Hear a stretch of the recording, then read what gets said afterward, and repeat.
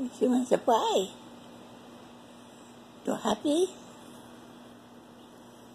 She got a toy? You're being a good girl, Panis. Good girl, you're letting her play with her toy.